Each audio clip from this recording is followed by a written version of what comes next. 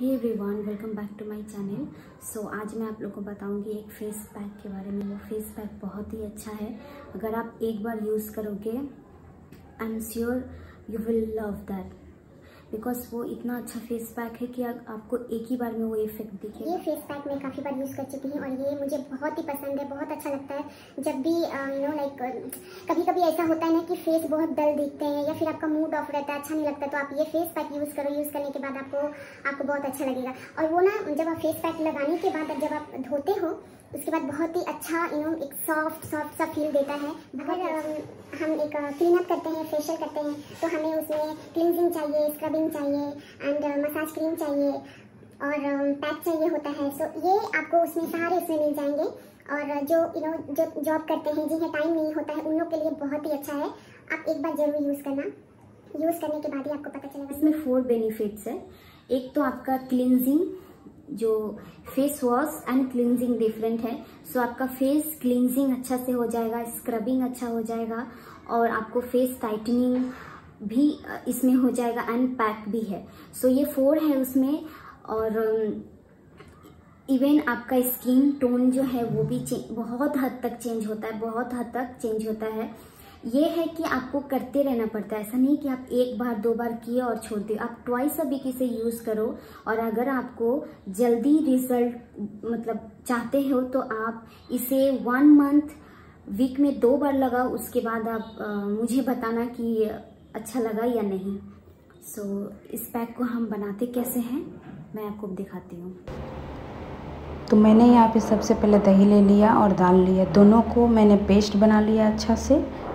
Paste बनाने के बाद अब अपना फेस को वॉश कर लो।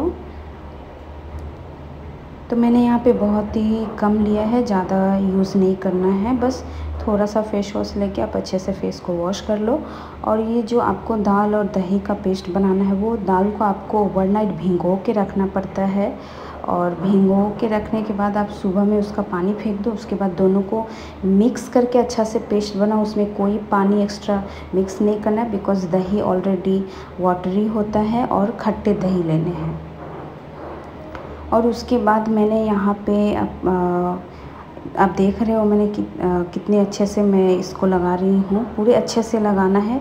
आप सबसे पहले इसको फ़र्स्ट लेयर आपको लगाना है, उसके बाद दो मिनट बाद आप फिर से लगाओ। तो मैं यहाँ दो मिनट बाद मैं फिर से लगा रही हूँ और आपको अच्छे तरीके से पूरे फेस पे लगाना है।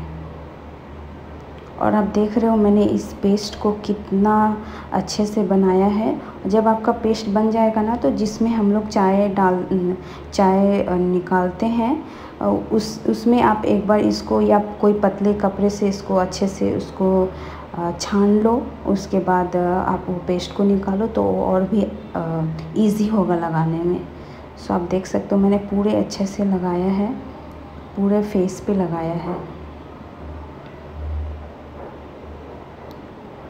मैंने इसको अच्छे से लगा लिया अभी मैं इसको सूखने के लिए छोड़ूँगी, आधे घंटे बाद आप देख रहे हो कितने अच्छे से ड्राई हो गए और हाँ जब आप फेस पैक लगाते हो तो आपको बात नहीं करनी बिकॉज़ ये टाइटनिंग भी करता है तो इसलिए अगर आप बात करोगे तो ये फटेगा। अगर ये फटेगा तो ये अपना काम नहीं करेगा। तो ये ड्राई होने के बाद मैं इसको अच्छे से धो ले रही हूँ। पहले आपको भिगोना है, थोड़ा वो गीला हो जाएगा और उसके बाद आप स्क्रब करो। स्क्रब करके उसके बाद इसको अच्छे से साफ़ करना है। आप देख रहे हो ये पूरा पहले जैसा ही हो गया था। उसके बाद मैं वॉश की हूँ। वॉश करने के बाद ये है मेरा फेस